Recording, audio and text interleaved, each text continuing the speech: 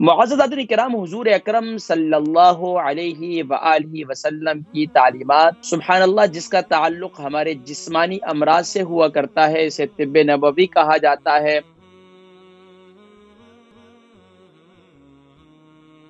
جسم کے جتنے جسمانی یا روحانی علاج ہے وہ سبحان اللہ طب نبوی کے اندر موجود ہیں۔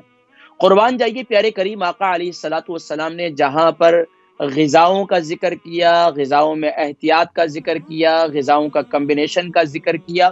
وہیں پر آقا علیہ السلاۃ والسلام نے بیماریوں، بیماری، بیمار لوگوں کی، بیمار کی بیماری بیماری کا علاج جو ہے، وہ آقا علیہ السلاۃ والسلام نے ان کے دل کو طاقت، ان کے دل کی تقویت کے لیے سبحان اللہ فرمایا کہ تم شگفتہ باتیں کرو۔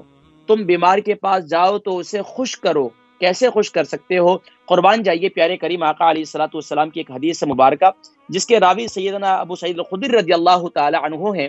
کہ پیارے کریم آقا علیہ السلاۃ والسلام کے پیارے صحابی سیدنا ابو سعید الخدر رضی اللہ تعالی عنہ فرماتے ہیں، عن ابی سعید الخدری رضی اللہ تعالی عنہ قال قال رسول اللہ صلی اللہ علیہ وسلم، اذا دخلتم على المريض فنفسوا له في الاجل، فان ذلك لا يرد شيئا وهو يطيب وهو يطيب نفس المريض. پیارے کریم آقا علیہ الصلوۃ والسلام کے پیارے صحابی سیدنا ابو سعید الخدری رضی اللہ تعالی عنہ فرماتے ہیں کہ میں نے پیارے کریم آقا علیہ الصلوۃ والسلام سے عرض کی آقا علیہ الصلوۃ والسلام نے فرمایا کہ جب کسی مریض کے پاس تم جاؤ تو فوراً اس کے سامنے خوشکن باتیں کرو، اس کی طبیعت کو خوش کر دو اور فرمایا کہ اور اس کے علاوہ اس سے کچھ نہ کہو۔ مگر پھر بھی سبحان اللہ، اگر تم اس سے خوشکن باتیں کرو گے، اس کے حوصلہ افزائی کرو گے، تو یہ مریض کو بہت بہت دل، اس کے دل کو طاقت دے گی اور اس کے دل کو توانائی دے گی۔ نادن کرام، میں نے دیکھا اور الحمدللہ اپنے اساتذہ کو بھی دیکھا، اور الحمدللہ ایک تجربہ بھی ہے، ایک عرصے سے لوگوں کے ساتھ تعلق بھی ہے، بیمار بیمار حضرات فون کرتے ہیں، ان کے علاج معالجے کے لیے۔ ان کو بتلاتا ہوں، یقین جانیے آدھے سے زیادہ تو ان کی بیماریوں کا علاج جو ہے ان کو کمیونیکیشن کے ذریعے ان کی طبیعت ٹھیک ہو جاتی ہے۔ وہ کہتے ہیں کہ جی آپ سے بات کرنے کے بعد تو یہ محسوس ہوا، اب تو بیماری کوئی نہیں ہے۔ لیکن پھر جو ہے، پھر بیماری کوئی نہ کوئی ہو جاتی ہے۔ قربان جائیے تو گویا کہ ہمیں یہ بتلایا گیا کہ جب بھی آپ کسی بیمار کے پاس جائیں تو بیمار کے پاس جا کر بیمار کی عیادت بھی کریں۔ ایسا نہ کہیں اس کو، ارے، تمہیں تو اب دل کی تکلیف اب تو نہیں بچنے والے۔ ایسا کہہ دیتے ہیں، بھائی، وہ تمہیں وائرس ہو گیا؟ فلاں بندہ مر گیا، فلاں ایسا ہو گیا۔ بھائی، اسے خوش، اسے خوشکن باتیں کریں، اس کی طبیعت کو خوش کر دیں۔ اس کو کہیں، میں ہمارے کراچی کے اندر جو ہے، حکیم مرسلین ہوا کرتے تھے، فرمایا کرتے تھے کہ بھائی کوئی ان کے پاس جاتا، نفس پکڑتے اور اس کے بعد جو ہے وہ علاج تشخیص کرتے تو کہتے، ارے، تمہیں تو کوئی بیماری ہی نہیں۔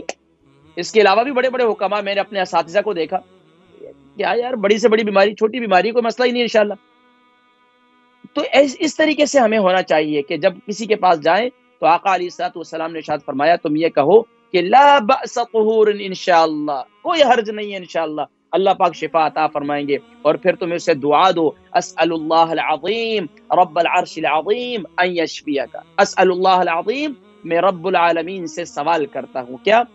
رب العرش العظیم جو عرش عظیم کا رب ہے، ان یشفیک، آپ کو شفا عطا فرمائے۔ ناظرین کرام معاشرے کے اندر اگر آج بہت سے لوگ جو ڈپریشن کا شکار ہیں، جو انگزائٹی کا شکار ہیں، جو نہ جانے کن کن پرابلمس کا شکار ہیں۔ آج یو کے، یورپ میں دیکھ لیں، کتنے ایسے لوگ ہیں، جوان بچہ ہے، جوان نوجوان ہے، بس تنہائی پسند ہو گیا۔ ڈپریشن دماغ پر جو ہے، وہ رات کو سونے سے پہلے جو ہے، وہ ڈپریشن کی گولیاں لے رہے ہیں۔ دن میں ڈپریشن کی گولیاں لے رہے ہیں۔ اور آدھے سر کے درد کے مریض نوجوان بچے ہو چکے ہیں۔ کیوں؟ بھائی بھائی ڈپریشن ہو گیا۔ بھائی، کیوں ڈپریشن ہو گیا؟ ہم، ہمارا یہ کام ہے کہ ہم اپنی لائف کو مصروف کریں۔ میں ہمیشہ سے ایک جملہ کہا کرتا ہوں اور یہ میرے ایک بڑے بزرگ ہیں انہوں نے فرمایا فرمایا تھا۔ تو الحمدللہ ہمیشہ سے یاد بھی ہے، آپ کو بھی بتا دیتا ہوں۔ فرمایا کہ زیادہ سوچو گے تو اپنے آپ کو اذیت میں مبتلا کرو گے۔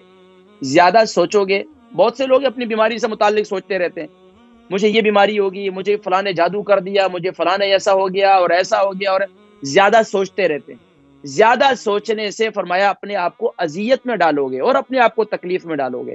فرمایا کہ یہ تو اپنے آپ کو مضبوط کر لو کہ اگر تمہارے اتنا سوچو گے تو تمہاری سوچ جو ہے تمہارے جسم پر اور تمہارے تمہاری بیماری پر وہ حملہ آور نہیں ہوگی۔ تو کوئی مسئلہ نہیں، یا تو اپنے آپ کو مضبوط کر لو یا پھر اپنے آپ کو مصروف کر لو۔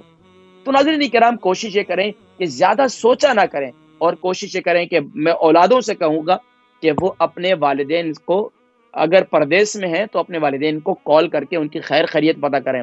اگر یہاں رہتے ہیں تو ہر دوسرے، تیسرے دن ہر روزانہ کال کریں، کیا ہوتا ہے؟ پانچ منٹ لگیں گے۔ یقین جانیے کہ کتنے، میں کئی دفعہ یہ واقعہ بھی سنایا۔